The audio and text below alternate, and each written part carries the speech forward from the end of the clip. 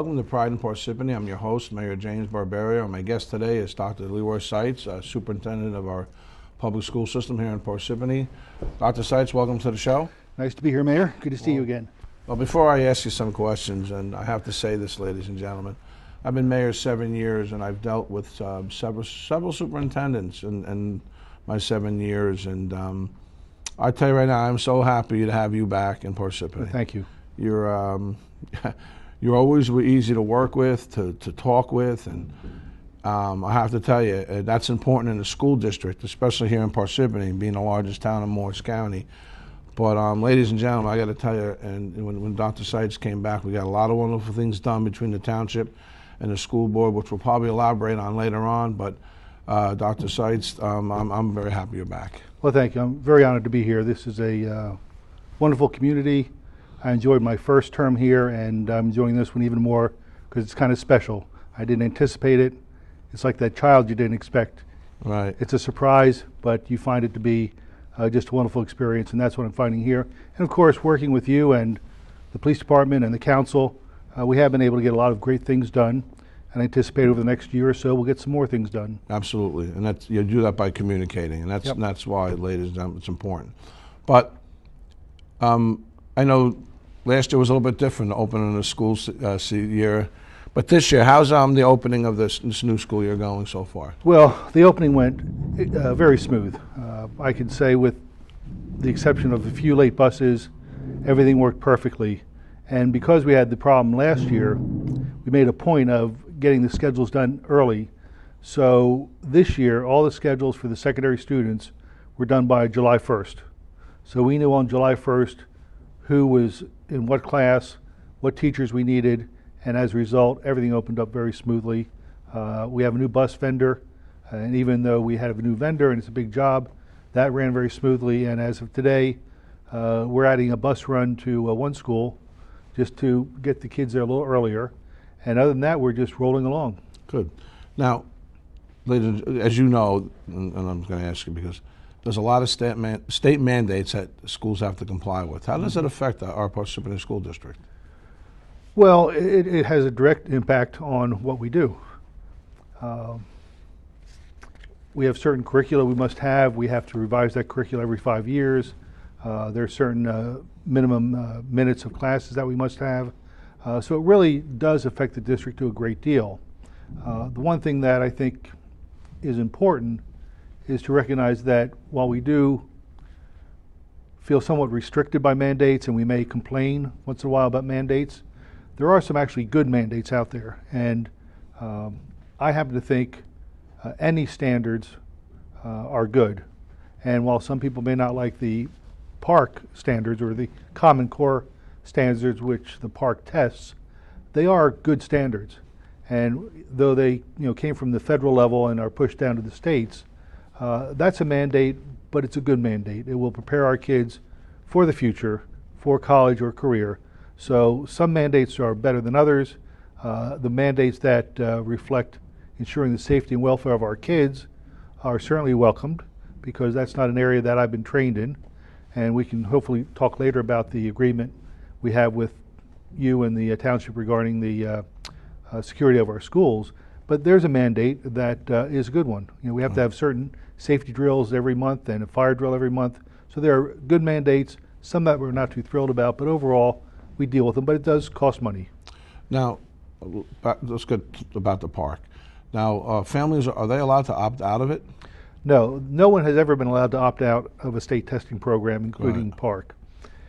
I think because of the rush to implement PARCC, and because it came from the federal government, there were some people who were upset about that and decided not to take the PARCC uh, the first year. Uh, that was understandable. The second year, which was this past spring, uh, we had a much higher participation rate. Uh, people are beginning to understand the value of the uh, PARCC exam. And most importantly, and we will be advertising this heavily over the next few years, with the graduating class of 2021, passing PARCC will be a requirement for graduation. So uh, we would encourage students to, you know, take those tests, do their best, because it helps us understand what we're doing well and where we can improve. It also helps the student and his or her parents understand where they have gaps where they need to work harder. So uh, PARCC is going to be an integral part of what we do. I think in the long run it's going to be very beneficial, and they are listening to us. Uh, I've always complained about the state not really listening, making a one-way street. Here's what you do. With the PARCC, they did listen. And in the first year we had two sessions. Now they've reduced it to one session. Uh, we complained about the amount of time. They've reduced the amount of time. So as long as they listen to us, as long as they give us time to adjust our teaching, I, and they are by not making a requirement until 2021, I think we will be in great shape. And our kids are doing extraordinarily well. Uh, when you first look at the results, uh, it, you have to interpret them because they're not as cut and dried as they have been in the past. Uh, for example, when you look at the eighth grade uh, math scores in PARCC, they may seem low, but when you realize that all of the high achieving students who took Algebra 1 are not included in that group, it kind of explains why they're not as high as you might have expected them to be. Right. So there are some little things like that that we have to uh, explain to people. But overall, uh, I think the state is listening, and I hope they continue and, and to make adjustments and to provide us with resources so we can train our teachers to do what they need to do. Well, I want to get to the one that I, you know, shared service agreement that we have with the school board. Um, I got to tell you, when um, the former superintendent left, I was concerned because I didn't have an opportunity to really discuss it with you, uh, the program. And ladies and gentlemen, I have to tell you, I belong to uh, the Morris County Coalition for a Better Choice, um, and it's an anti-drug and anti-alcohol um, program in the county. Out of the 39 towns right now, I think there's eight towns, and Parsippany is one of them. And there's a gentleman named Ace Gallagher, who's a committee man in, in, in Hanover, who's a former Board of Education member. When I told him what we did in Parsippany, he was just elated. He says, "How did you guys do that?" Because you know he's. I said, and I said, "Well, we got the right guy in at the time." And but I have to tell you, I have to ask you because it's an important question. How's it going so far? Well, first of all, let me tell you, this is a wonderful partnership that you've created with the township and the school district. I mean, it's just spectacular because at the end of the day, our highest priority is the safety of our staff and students. Right. So you've got to be commended for that. As far as it working, uh, it's working quite well. We are having you know more security in our schools, but I think the thing that really is going to set this apart is we have trained professionals in the field of safety and security working with us to identify areas where we can improve the safety in our schools. And right now, uh, Brian Dowd, our officer, is working through all of our eh, crisis plans. He's inspecting all the schools. He's uh, putting together checklists so that the SROs uh, do certain things every day or every week or every month. So we have constant monitoring of the systems. He's looking at our uh, uh, cameras, uh, security cameras, to make sure that they're where they should be. We're making sure that the police department has appropriate access to our cameras when there's a, a crisis or an emergency. So it's only been in place for three weeks of the new school year, but I can tell you we're all very pleased. And I know the principals and the teachers are really grateful because now we have someone who's trained working with us when we do our drills. Right. And, and you know, hopefully we never have to have a real emergency, but knowing that we have our people trained that the drills work is very comforting. And you know and I know if the teachers and the students don't feel safe, nothing's going to happen. So I think it's just a, a wonderful uh, agreement, partnership, and uh, I just hope we can get to spread around the country and around the state because it is a great model for other districts to uh, emulate. Uh, and I think because we had a meeting of the coalition, and I, I told them that it's not just having the resource officers. They're like they get along well with the students. The students look forward to seeing them. But the other element of it is that um, we have the anti-bullying um, program that, um, thanks to you, we're going to have into the uh, in, in October in elementary schools. We have a, a girl that went to the um, Parsippany Hills High School, um, Ashley Tobias, who has a, a, a theme, Be True to You, who teaches the classes of, of anti-bullying. But we have the anti-drug program, which we're start, we're going to come to you eventually to implement that uh, by having assemblies in the middle schools, and an anti-human trafficking because uh, human trafficking has become a uh, like the seventh, one of the largest and fastest organized crimes uh, developing in in the nation. And Jersey's ranked number seven in the nation for that. So we want to get that into the schools because it starts with education, of course. But the fact is that I get to boast, but I have to thank you because it, it doesn't happen, and I didn't think it was going to happen, and, and it doesn't happen unless you have the right individuals at the right time in the right place. And the nice thing is, you came back. We had nine members on on the board of education who agreed, and out of the five council, we had four who agreed. So you know, I want to thank you, Dr. Seitz, because um, um, for putting uh, our our kids as priority one. That, that's Well, important. Thank you very much. And I, I do have to emphasize that the point you just made. I, I was talking about you know the security systems we have and and the practices we do, but the real value is that because we have trained professionals in the schools, they are proactively working with our students, and they're getting to issues before they become problems. So we may not see that, and people may not hear about it, but I think one of the most positive aspects of this whole partnership is that our police department is developing a relationship with our staff and students. So a child, a student feels comfortable going to one of the officers with a problem. And that probably didn't occur in the past, so the problem went unattended, and all of a sudden it blew up. Right now, we have this proactive approach, and again, you've selected wonderful officers. They have great rapport with our students, and they become a part of our school community. And once that happens, it's almost like a family, and things get resolved very quickly. So you have to be commended for doing it, but also for selecting really good people, really appropriate people uh, who can work with our students and staff. So I Uh, thank you on behalf of our students. And I would be disingenuous if I didn't say our council president, uh, Lou Valori, who's a former police officer in town and former Board of Education member, he, he got it. He understood because he was a DARE officer, so he knew. So that helps out a lot as well because you, you have, you know, you, once you have the council president and the mayor agreeing, it's a lot easier to bring it forward. Well, you- you're absolutely right, and he was, you know, a s- a, strong leader on the board when I was here before. He values education. He certainly values life and, and the uh, lives of children. Uh, he's been uh, indirectly affected by some of the tragedies that have occur- occurred across the country. So he understands firsthand how important this is, and, and you're absolutely right. It takes you know people working together, and uh, uh, Mr. Valori was a wonderful asset uh, and partner with you to make this happen. Thank you.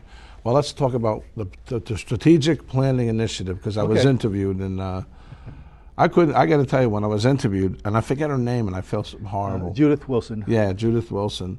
I told her, you know, we talked about the SRO program, but I told her what I, you know, I thought about the school system here in Parsippany. I grew up here. I went through the school system. My wife went through the school system. My daughter, my son, and I have to tell you, I had the most wonderful experience in, in the school system. Parsippany Hills had great teachers and mentors, and it went on and on. But I did tell her one of the things that, as a mayor, one of my you know initiatives, and, and it's working, is the safety in our school system and stuff like that. Academically, I got to tell you, we don't get ranked fifth place to live in the United States of America by accident. We have a great school system. You do, and, and your two high schools are ranked in the top 100 on a consistent basis. But let me go back a little bit because uh, before I talk about strategic planning, you know, this is a wonderful community and it has a history of uh, strong schools. Uh, it's interesting this year, the high is celebrating its 60th anniversary, and Troy Hills Elementary is uh, celebrating its 50th anniversary, and I guess we're going to be Yep. over there on Friday. So you have this wonderful history, and you have a very powerful, successful school district, and it's easy to become complacent. And what strategic planning will do, it'll help us talk to all the people who are affected by our schools and come up with three to five broad, broad goals that we can work on for the next three to five years. Uh, we can't rest. We can't say, well, you know, for the last three years, the academic decathlon team at the high has been number one in the state. And that's great and uh, probably unprecedented. But we don't want to stop there. Uh, and strategic planning will help us identify these areas where we can continue to improve and continue to do the things that we do well. I just hope that our uh, viewers, members of the community, participate in the online surveys and participate on the uh, forum, the public forum that is uh, scheduled in October, and we will be getting announcements out to the public about that. But the more feedback uh, Mrs. Wilson gets in this process, the better the outcome will be for the board. And the best thing is this will be uh, completed by December of this year. So we're going to have a plan for the new superintendent to follow when he or she gets here. Now, are other towns doing this or just Parsippany right now? Uh, we're doing it right now. Uh, other districts do it from time to time. But again, when you have a good school district, you don't necessarily have the, the need. People don't see the need for it. Uh, I think it's just the opposite. Uh, when you have a successful school district, you tend to keep things going in the same direction, thinking it'll last forever. But as you know, as, as the mayor, you've seen this town change dramatically over the last 10 years. Right.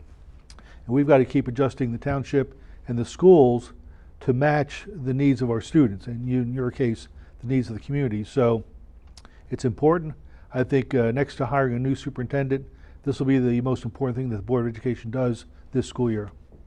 Well, with things change so quickly, uh, so say five years down the line, with this, um, how would this affect things and uh, planning wise? Well, I don't know what the outcome will be. I mean, I, I have a, I think I have a good idea of what it's going to be, but we want to try to identify, and we don't do this enough in public education. We need to take time to reflect on what we're doing now, but also what do we think our kids are going to need five years from now and 10 years from now. And uh, we just don't have the time. This forces us to take the time. Right. Uh, so will we see anything different? No, the schools will be here. Uh, they'll be staffed with teachers. I'm anticipating you'll see uh, maybe uh, more uh, varied programs. I think you're going to see uh, better technology. Uh, so I think those things will evolve, but this will give us a, a more focused approach as opposed to piecemeal. And I think that's what the key is. We have limited resources, so we've got to make sure that whatever money we spend, we get the most bang from. So this will help us in that in that uh, aspect. I'll tell you this though. One thing I will say about Parsippany and the school system, and being a mayor, we are so diverse, and um, it's so funny. Um, Professor Curry, I think that's his name.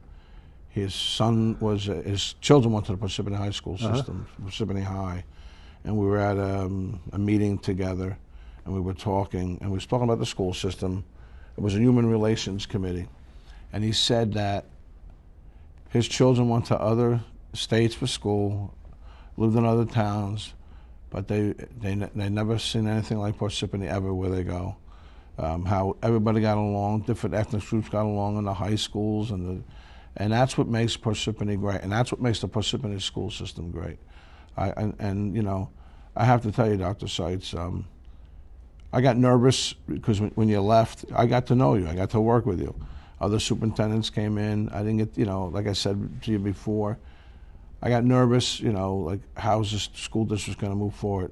You came back, and it was like bang. So I hope the next superintendent of schools that they do get um, is a reflection of you.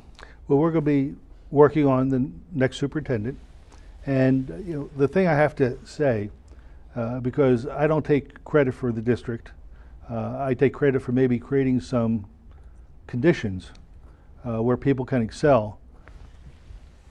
But when I got here in December uh, of last year, and went through the district and started getting a sense of what was going on, 95 to 98 percent of everything was great. You know, you went to the classrooms because we didn't change the teachers, we didn't change the program, we didn't change the administrators. Great learning was going on. And this district ran uh, very smoothly at that level. At a different level, there were some problems, obviously, but you have to really credit the teachers and administrators and parents and students in this community for continuing their excellence while there was ongoing distractions.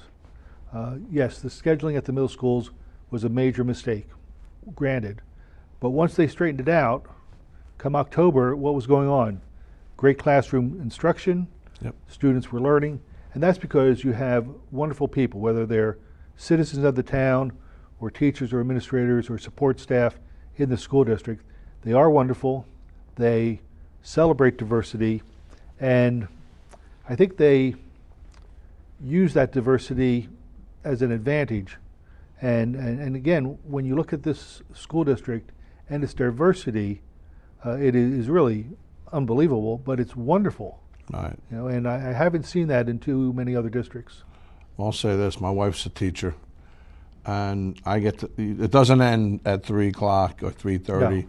I watch how hard uh, she works and how she's, you know, she gets emotional for her students. She loves her students, and we have that here in Parsippany as well.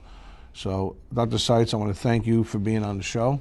My pleasure. And um, once again, well, um, thank you for tuning in to Pride in Parsippany. And until next time, God bless you all. Thank you very much.